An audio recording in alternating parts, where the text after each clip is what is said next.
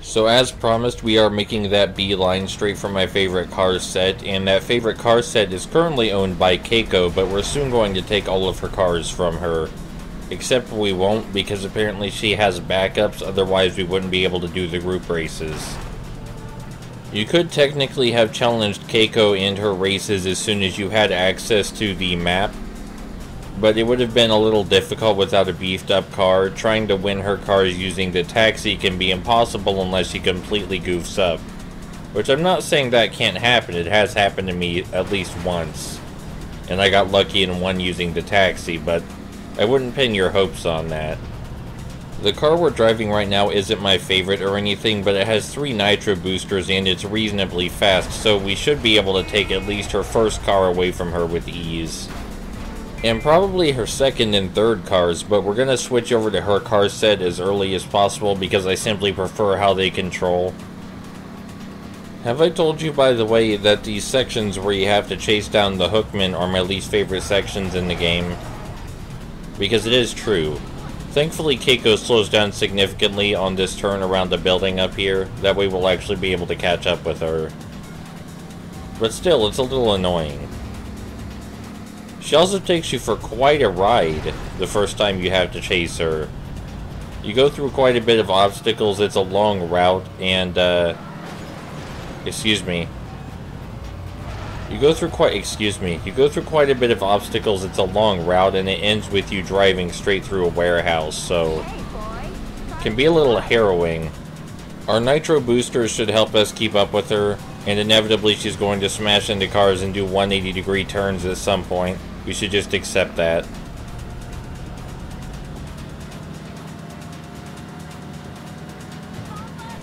We should be careful transitioning between the grass and the road. Our car isn't light by any means, but were we driving a lighter car, we could easily get tipped over. Depending on how fast we're moving, of course. And especially when coming out of the water.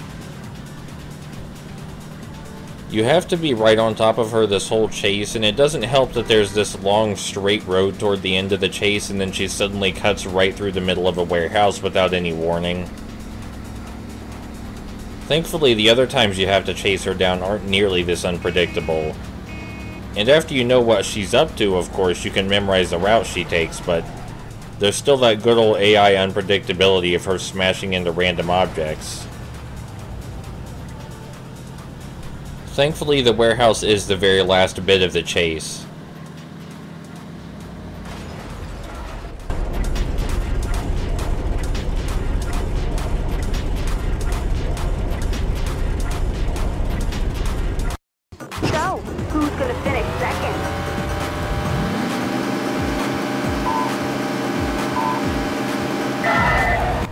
As with the other group races, most of the time we're going to follow Keiko's car, which leads us straight through the warehouse we already drove through.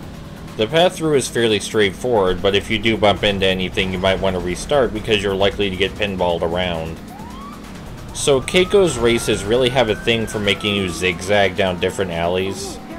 Although on the map you could reasonably draw a straight line between all the yellow dots, that's not how it plays out when you're actually driving. The downside is that if you're not used to cornering yet, this can be really difficult and frustrating. The upside is that if you're not used to cornering yet, this will get you used to cornering, because you have to be used to cornering to win her races. It's basically just one 90 degree turn after another. And cornering in this game is the thing I'm best at. It may not seem like it at times, but I can still take the corners with much better reliability than the AI can. They seem to slow down to such a significant degree.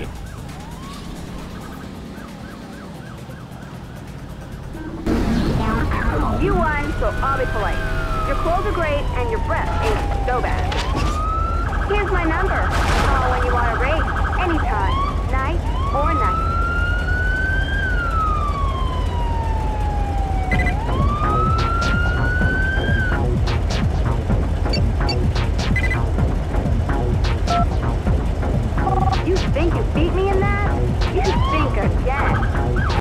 Now that we've beaten Keiko's first group race, we've gained access to her cell phone and we can challenge her for one of her cars. As I said, we're going to be switching over to her car set as soon as possible, even though her first car is a little bit inferior to the one we're driving right now. Don't worry, we'll still be able to beat her though.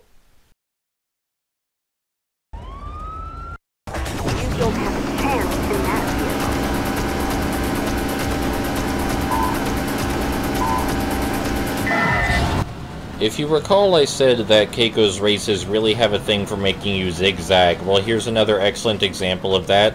This is a short race though, so I find it's best to get in front of her at the start. During longer races, the AI has a greater chance of goofing up at some point, but when the races are as short as this, you want to get ahead as soon as possible and stay ahead. Because there's not a lot of time for you to play catch up. This is one of the shorter races in the game.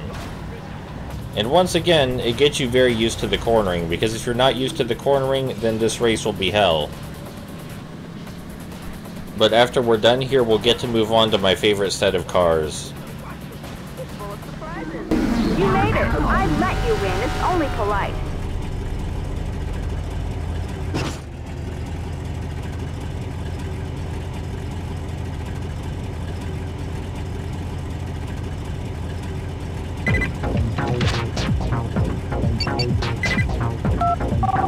Think you beat me in that? You think again.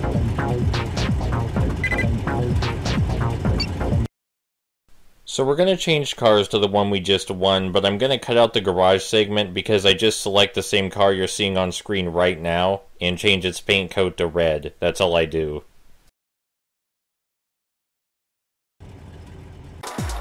Driving, you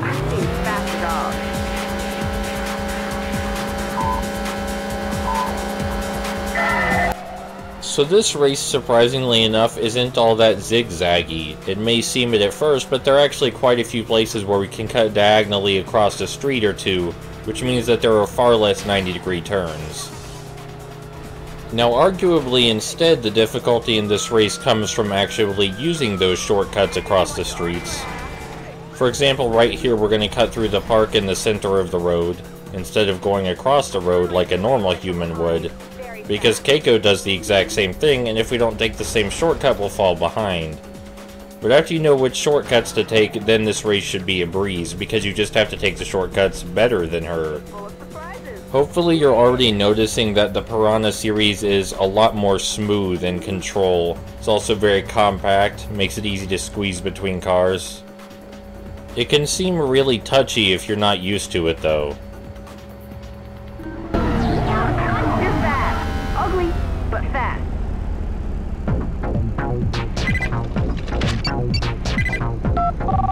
Think you beat me in that? You think again. So now of course we're going to switch to the second car in the Piranha series, the one that we just won. It's basically a straight upgrade of the first car, so there should be no worries about transitioning properly.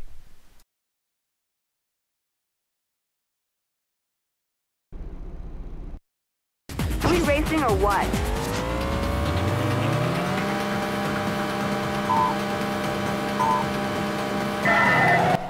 Ah, here it is, the race for my favorite car in the game, the final car in the Piranha series, and the most difficult head-to-head race in Keiko's arsenal.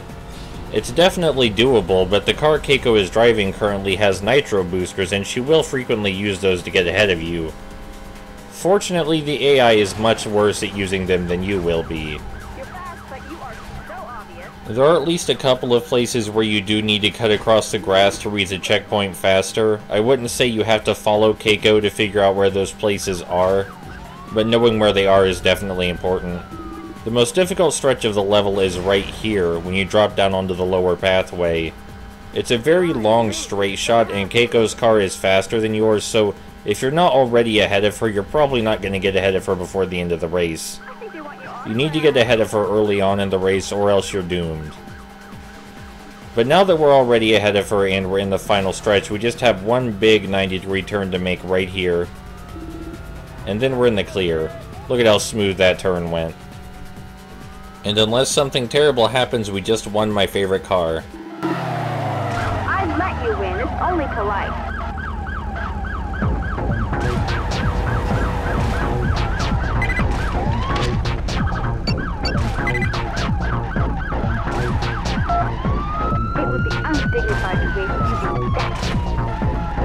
I didn't quite catch that, but she said something about it being undignified to race us, or something like that.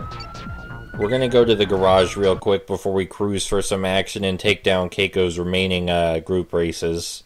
I didn't show the garage the last two times, but I will this time so you can see the whole Piranha series as well as my favorite car, and uh, this is going to be the last car we use for quite a while. There's only one more car set we're going to transition to in the whole game, so get used to seeing this next car. Just gonna boop on over. And here we are, the Piranha PDQ-ARI, or just the RE. It makes significant sacrifices in speed for increased handling, and it has 5 nitro boosters. The handling is just in the right spot I'm most comfortable with. Those 5 nitro boosters, I believe, are the max amount of nitro boosters available on any given car. And it doesn't hurt that the car has great acceleration. So even if we do goof up one of the corners, we'll be fine. Oh, this feels so much smoother. Oh, shit. Fuck. So this is a downside to driving the RE. The car is incredibly light, so you're liable to get flying if you take ramps. It's for this reason that we're going to avoid ramps and bumps whenever possible while driving the RE, though this shouldn't be too difficult as we are racing on streets, and ideally there aren't a lot of bumps and ramps in the street. This game is called Midnight Club Street Racing, not Midnight Club Off-Road Racing. If it were about off-road racing, this would be one of the worst cars to choose, but because this game is all about cornering and straightaways, it's perfectly acceptable. Did I mention it's also my favorite car in the game? Because it is. Those 5 Nitro Boosters are incredibly helpful.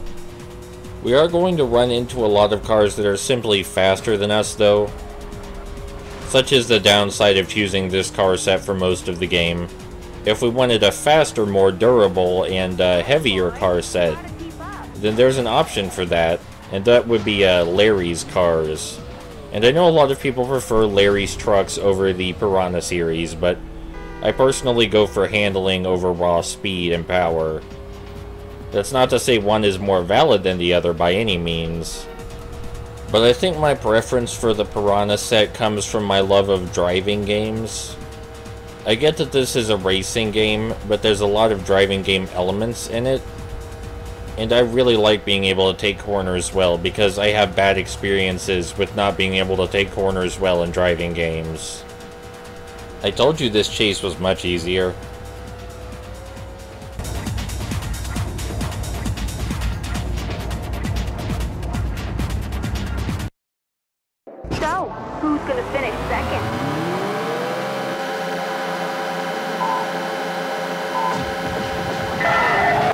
Even though the checkpoints in this race are seemingly all over the place, the most difficult shortcut you'll have to take is right here at the start. And with the new RE, it's very easy to stay in the lead, so this is a good race to practice something that will become a valuable asset later in the game. You're going to want to look at the map while you're driving. This may seem really stupid, but it's going to become very important later when the blue arrow above your head will inevitably lead you to a bad checkpoint. At first, the blue arrow may seem like a godsend. It's a great idea, right? It shows you where the nearest checkpoint is so you can go there without having to check the minimap. But the blue arrow will often point you to an inconvenient checkpoint later in the game, one that will take you a much longer period of time. So you're going to have to learn to glance at the minimap while driving in this game. It's just a necessity unless you memorize the entire track layout because as the races get progressively more non-linear, the more useless the blue arrow will become. You so polite. Your clothes are great, and your breath ain't so bad.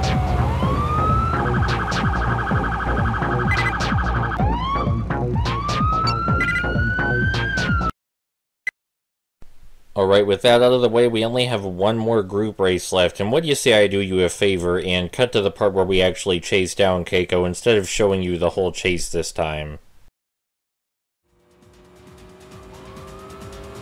So after we chase down Keiko and finish this group race, she will dis- ex excuse me, why did you just take a hard left into that wall? As I was saying, after we chase down Keiko and do this last group race for her, We'll have finished her, she'll disappear from the map, and we'll only have Larry and the city champ. And we could challenge the city champ immediately after finishing this next group race, but we're going to take out Larry anyway, because as I said, I like this game And we're gonna finish all three hookmen.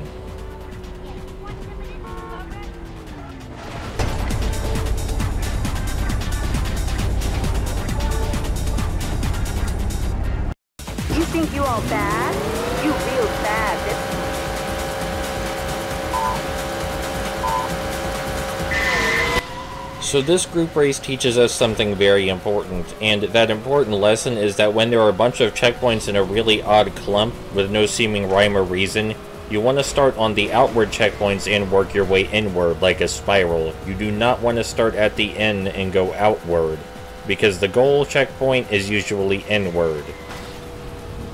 And if you start from the inside and work your way out, it's going to take way too long to get back to the gold checkpoint after you collect all of the yellow checkpoints. So remember how I said we should really avoid ramps whenever possible? Well, normally I would go around this big building we're about to run straight through. And there's a very good reason for that. But we landed on our tires, so everything's okay. It probably saved us a lot of time to make that incredibly reckless jump too, but normally I would have gone around it. Or slowed down at least. But either way, we're fine. We still have two nitro boosters left, and we're undeniably in the lead. Have the most checkpoints collected. Sometimes the game will play shortcuts that are incredibly obvious right in front of you, such as this one. And it's a good idea to take those shortcuts wherever they present themselves because you can bet the AI is going to be taking the same shortcut. They seem to know exactly where all the shortcuts are and how to utilize them. I can't tell, by the way, if the rain makes the handling more difficult. I wouldn't be surprised if it did, but I honestly can't tell. Anyway, it's a fairly straight shot to the goal at this point, and we're in the fastest car on the track. We just used our last nitro booster, so unless something goes horribly wrong, we should win just fine. Well done. More luck, less judgment, but well done. You're not as bad as you look. You need to find the New York champs now.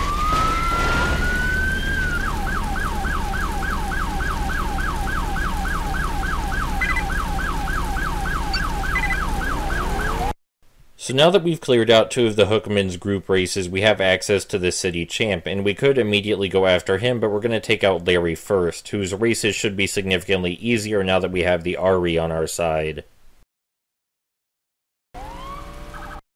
My